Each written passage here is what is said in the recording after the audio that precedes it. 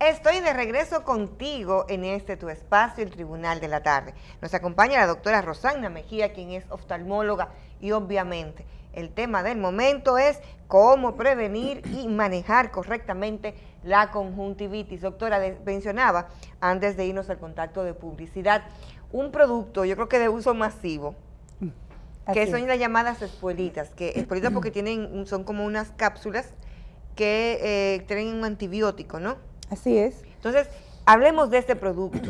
Inocuo, realmente, o ayuda, o ¿qué hace? Bueno, la famosa espuelita contiene cloranfenicol.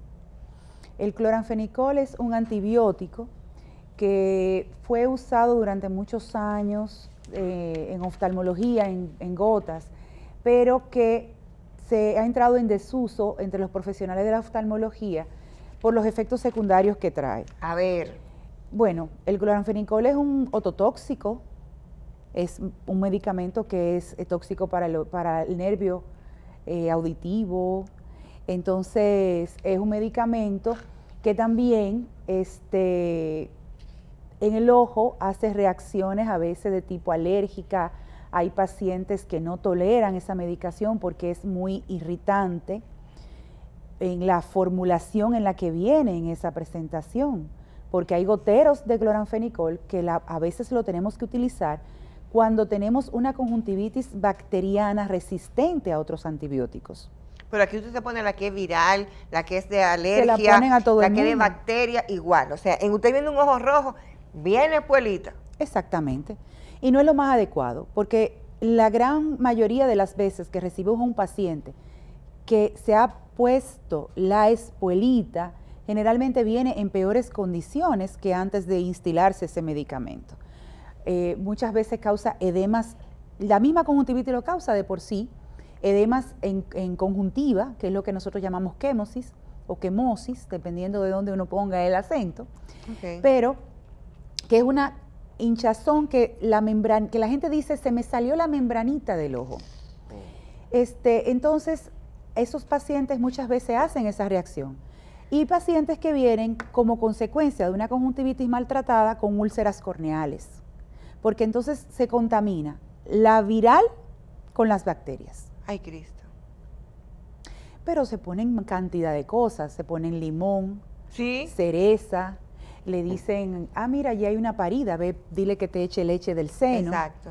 este, Ay, Dios mío hacen cantidad de cosas, entonces eso no es lo que deben hacer. El paciente que ya tiene la conjuntivitis, lo ideal es que se lave con agua solamente.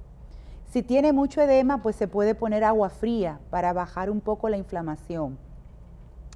Debe limpiarse cada vez que tiene secreciones, si las produce. Con, toallas, servilletas o papel, o mm, papel higiénico. Todo desechable. Atención. Se, limpia, nada de, se, limpia con servilleta y la bota. Y la bota.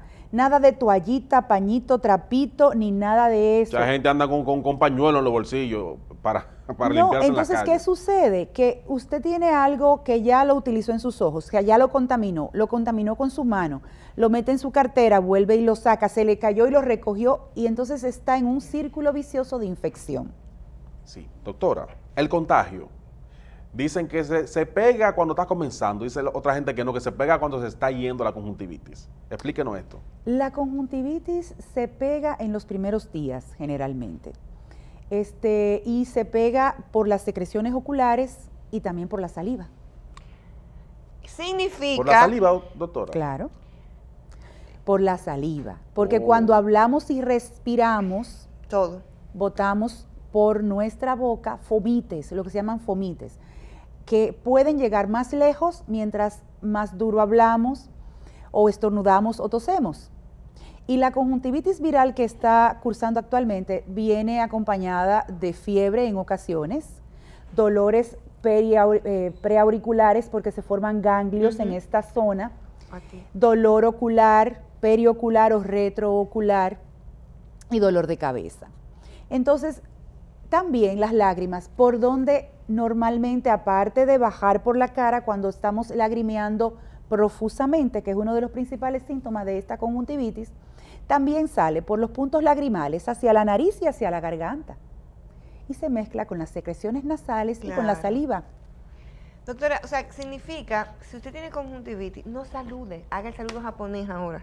Exactamente. Así y ya. Deje de estar dando mano, abrazando dando besos. Paciente con conjuntivitis debe ir a su casa a aislarse de los no al demás. centro comercial ni a bancos. Nada ni de al restaurante. eso. Nada de eso. Pu- Pudiera ser, doctora, que parte del brote que hay del- de la epidemia es por la que estamos en- todavía en, en época escolar y ahí los- todos esos niños juntos. Claro que sí.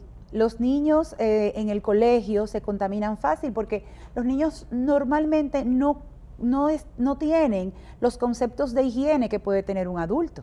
Juegan con los amiguitos en el recreo, se abrazan y se dan la mano y ahí entonces viene, viene el contagio. Yo recibí una, una bebé en estos días que se contagió en la guardería.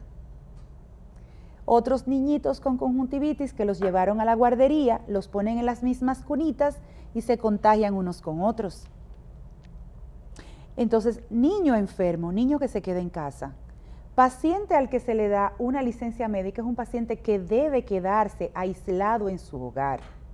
Que cuando se levanta en las mañanas, generalmente amanece peor. ¿Qué iba a hacer con el tema de la secreción, de ese ojo que aparece como encapsulado muchas veces, con muchas secreciones en, en Esas el- secreciones deben lavarse con agua, agua corriente, agua que corra para que elimine todas las secreciones que tiene en su ojo. A veces pueden amanecer pegados los ojos porque entonces se llenan de secreciones durante la noche. Entonces las almohadas, las fundas de almohada durante la noche recogen todas las secreciones. Hay que lavarla. hay que recogerla inmediatamente y lavar la parte de, las, de la ropa de cama de los pacientes que no estén infectados. Vamos a otro contacto de publicidad. Y si algo hemos aprendido ahora es el saludo japonés. Salude así, cero besos, cero abrazos, para evitar el contagio. Regresamos.